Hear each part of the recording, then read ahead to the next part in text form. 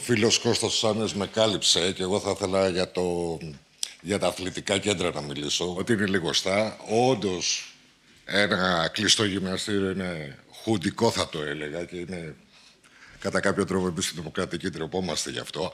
Δεν έχει όμως αναβαθμιστεί και από τότε.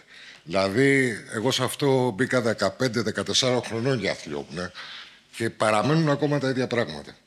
Τώρα που μπαίνω σαν. Ε, Υπάρχει ένα κολυμβητήριο που το 2010-12, αν θυμάμαι καλά, η τότε Δημοτική Αρχή το έκλεισε.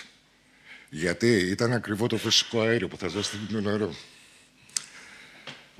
Υπάρχουν 7 ποδοσφαιρικά σωματεία αεραστεχνικά που προπονούν οι ακαδημίες τους και τα παιδιά και οι αθλητές τους σε δυόμιση ποδοσφαιρικά γήπεδα. Δυόμιση στην κυριολεξία.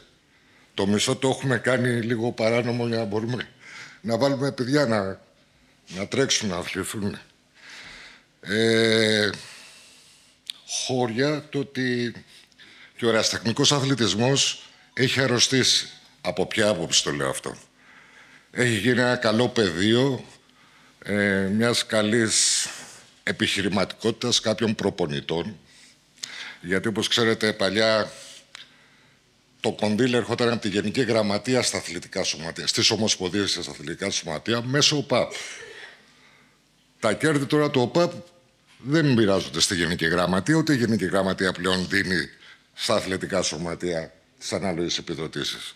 Οπότε πολύ εύκολα, επειδή οι γονείς θέλουν τα παιδιά να κάνουν αθλητισμό, τα 20, 30, 35 όσα δίνουν είναι ένα πολύ καλό μεροκάματο για προπονητές, για να μην σας πω ακόμα και για προέδρους κάποιων αθλητικών σωμάτιων.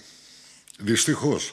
Αυτό βέβαια έχει γίνει γιατί δεν υπάρχει πλέον μια κρατική επιδότηση, ούτως ώστε και ο ερασιτεχνικό αθλητισμός να αποτελεί τα αποδεικτικά συμβουλία από γονείς που να μπορούν, εν πάση περιπτώσει, να αναπτύξουν αυτό. Εγώ είμαι σε ένα ιστορικό σωματείο, το οποίο τουλάχιστον ε, αυτοί που είμαστε τώρα διοίκηση, όραμά μας είναι τα 8.000, οι 8.000 μαθητές να απασχολούνται σε κάποιο άθλημα. Να είναι όλοι σε κάποιο αθλητικό τμήμα.